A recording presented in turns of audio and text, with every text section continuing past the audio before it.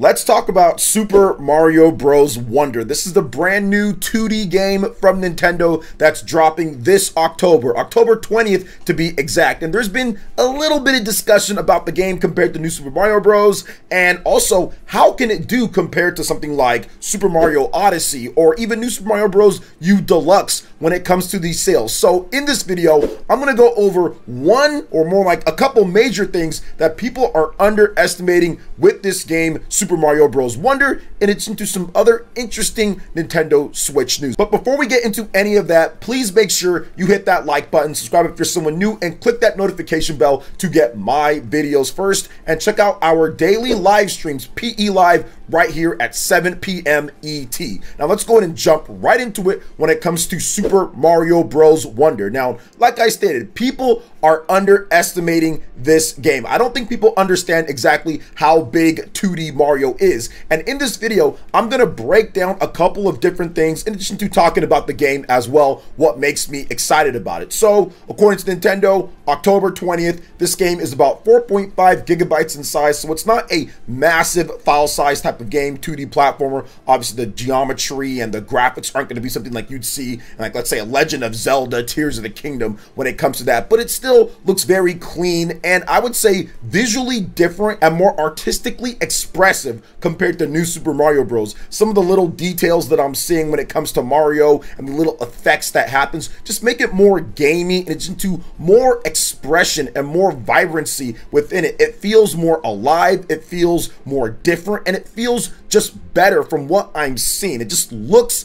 and it just seems visually so much more different than what we saw with New Super Mario Bros. with the expression of Mario. Really trippy with some of the stuff that's in the game, kind of some weird stuff going on. Completely replaced the three coins with a whole different type of system. And of course, now you have more playable characters as well. Having Daisy's really nice. And maybe there's some secret playable characters. Maybe Rosalina gets in and some other characters as well. But this to me is a very good step above what New Super Mario Bros. was doing. Now, New Super Mario Bros. obviously, it was around for a very long time. We had it from 2006 all the way up until this point, but for the past 10 years, for the most part, there hasn't been a brand new, I would say, Nintendo made 2D Mario game. It was just New Super Mario Bros. U Deluxe. We did have Mario Maker, Mario Maker 2 as well, but of course, those are create your own Mario experience, and those are using the different types of styles that we've seen before in Mario games. So, this is the first actual new style Mario game that we've had in a decade plus, going all the way back to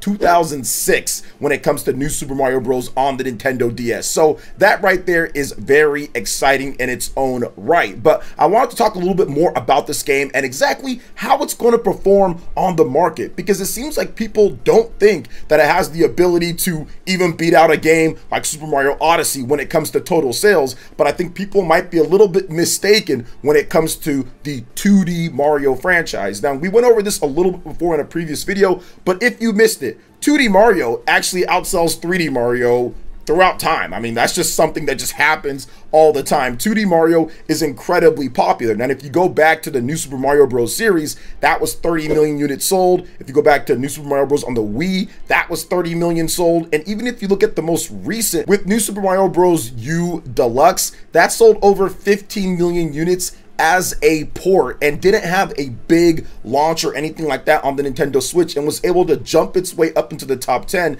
in the past four years plus or so. Now, if you look at it, Go back to when Nintendo released a 3D Mario game from the Wii U era as well. That was Super Mario 3D World plus Bowser's Fury. That's actually sold less than New Super Mario Bros. U Deluxe. New Super Mario Bros. U Deluxe has sold more. So, in my opinion, with a brand new that's not based off of anything previous 2D Mario game, brand new one, I think it absolutely has the ability to catch up and outsell Super Mario Odyssey for example, because I do think that Nintendo is going to move on to the next big 3D Mario game in the next year or two. Once we get that new Switch, I'm pretty sure there's going to be a big brand new 3D Mario game. And I don't think it's going to be Odyssey 2. I think it's going to be a brand new theme, something completely different, or taking some old ideas and kind of mixing everything together to create a different type of experience experience. But I don't think it's just going to be a follow up to Super Mario Odyssey. If they were going to do that, they would have already done that now at this point because if you look at the past,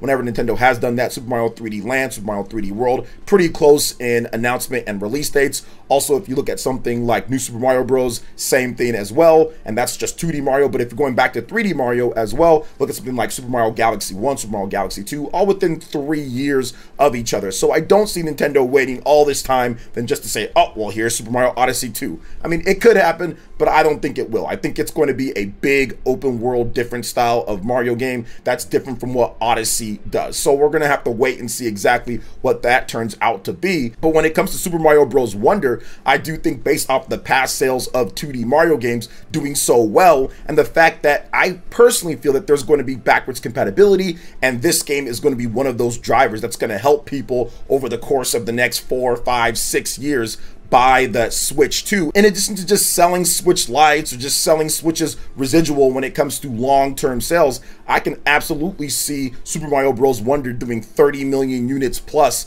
on the Nintendo Switch and then later getting more sales on the Nintendo Switch 2. So I think this is going to be a massive seller based off of the games that we've seen before. It's very possible that this game does 26, 27, 28 million and actually passes up Super Mario Odyssey eventually because I do feel once again that this game is going to be on sale for a very long amount of time compared to pretty much Super Mario Odyssey. Its time is almost up when it comes to the new 3D Mario game. Don't get me wrong, people will still go out there and buy Super Mario Odyssey, but I don't think it's going to be able to keep up in sales in the long run with the big next new 3D Mario game coming. Whereas pretty much New Super Mario Bros. U Deluxe, it was selling so much based on it being the preferable 2D Mario game. Mario Maker and Super Mario Maker 2, those are just too complicated. There's too much work to do just to play a level, and there's no actual like end result when it comes to you playing other people's level. You don't get anything. It's just, oh, I played the level, and that's that. There's no goal or achievement. There's no certain challenges baked in or something like that. So to me,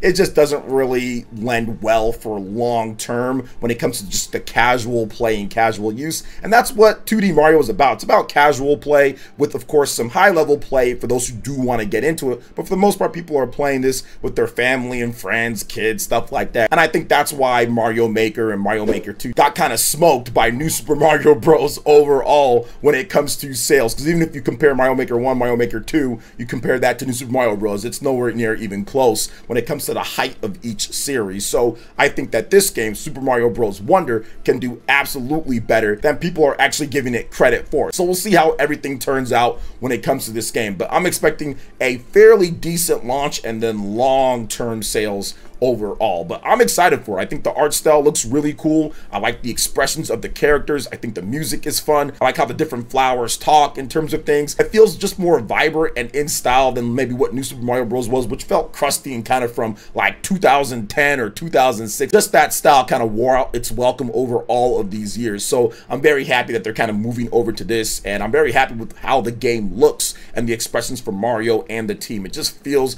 like it's just more effort put into it than New Super Mario Bros. has after we had gotten so many of the games beforehand. Now, let's move into the next thing here, guys, because we have a potential big secret game that's coming to Nintendo Switch. Now, all of you guys know about the Metal Gear Solid Volume 1 collection, right? That's going to get you Metal Gear Solid, the original game from the PS1. It's going to get you Metal Gear Solid 2, Sons of Liberty, and it's going to get you Metal Gear Solid 3, Snake Eater. Awesome stuff, right? In addition to some of the old school classic Metal Gear Solid games as well. But did you know that there seems to be a leak for the next Metal Gear Solid collection? Yeah, and a game, or more like games, that have never appeared on a Nintendo platform seem to be freed from the shackles. And yes, we're going to talk about this because more Metal Gear seemingly is coming to Nintendo Switch and, of course, Xbox, PlayStation, PC, and all of that. So, there is a rumor going around. Metal Gear Solid Master Collection Volume 2 should include Metal Gear Solid 4 5, and Peace Walker. So, Metal Gear Solid Master Collection Volume 2 will include Metal Gear Solid 4, Guns of the Patriots,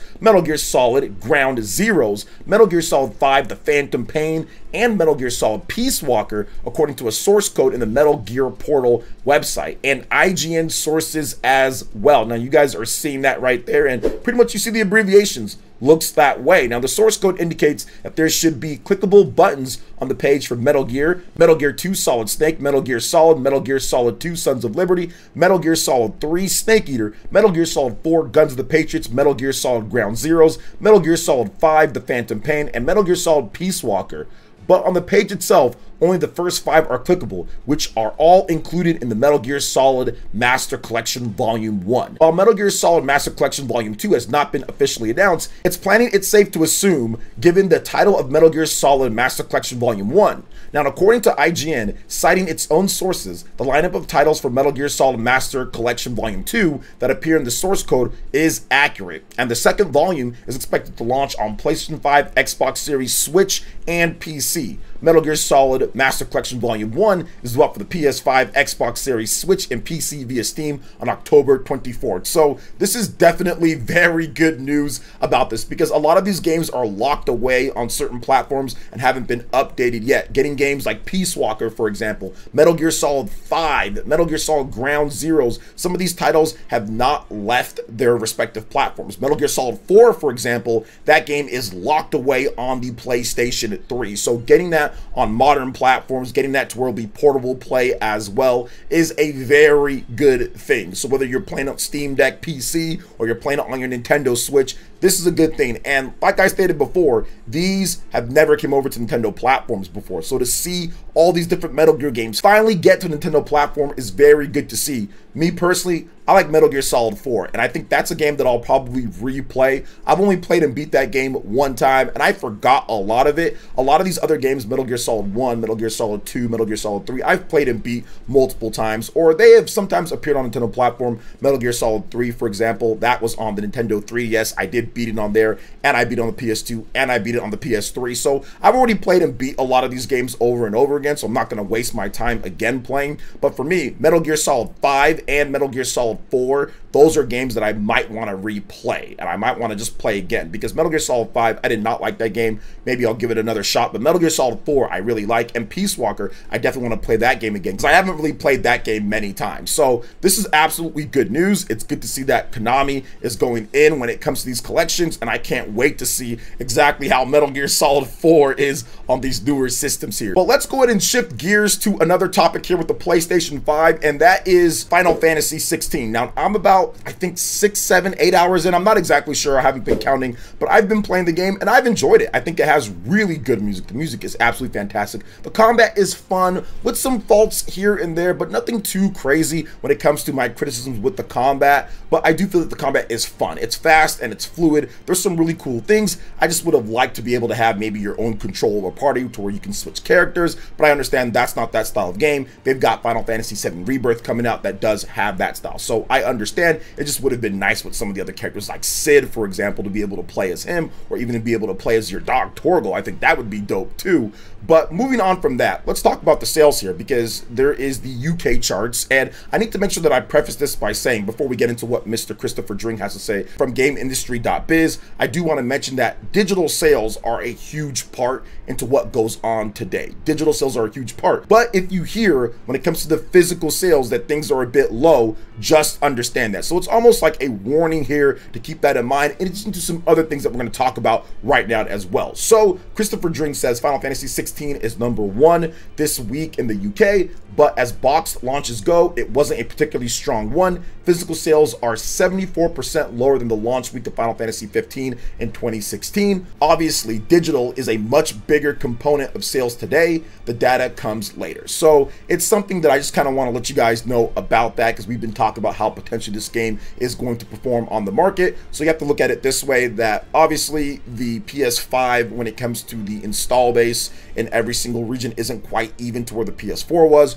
You also have the Xbox as well, which I'm not saying that contributes like a great deal towards the sales of Final Fantasy 15, but it's still an install base that's missing from this one here. PC was later. I made a mistake saying that it's PC as well launch. It didn't. It launched on PC later, but still, you did have a bigger install base at the time when Final Fantasy 16 launched on the PS4 and Xbox One compared to just the PlayStation 5 right now at this point. You also look at the launches in terms of things. I think it was later in the year, so it was three years or so for the PlayStation 4 compared to the almost three years going here with the PlayStation 5. So you're probably going to see lower sales. Then you also have a little bit of friction between the community when it comes to what people are wanting in a Final Fantasy game and all of that. I'm not sure how that's going to play a factor if people didn't buy the game because of that. But what I do know is that on Amazon, for example, here in the US, it actually didn't pass up The Legend of Zelda Tears of the Kingdom. But once again, PS5 has a massive digital install base of people who like to just buy games digital. So I do think that this game over time will get those residual sales, will actually rack up things as there's price drops and as people kind of clear out other games or maybe just say, okay, I'll finally try out Final Fantasy. I think Black Friday could be a huge boon for it because really all there is when it comes to major exclusives for the PlayStation 5 this holiday is Spider-Man. Now people are still going to buy that like crazy, but I do think that people are going to be like, okay, okay, well, let me get Spider-Man and something else, especially if there's a good deal for Final Fantasy 16. So don't want to sound the alarm bells right now at this point because some people will probably try doing that on Twitter and all of that. So I think it's okay, but we'll see how everything is in Japan as well because Final Fantasy 16 actually did pass up The Legend of Zelda Tears of the Kingdom on Amazon Japan for a bit. So we'll see if it goes back down or what's happening there. But overall, I think Final Fantasy 16 is going to do great in the long run, but we'll see how it ultimately ends up doing. So what do you guys think about all the different topics that we discussed here today? Let me know in the comment section below. Also, make sure you hit that like button, subscribe if you're someone new, click that notification bell, check out our other videos right here on screen, and we'll see you for the next one. Peace.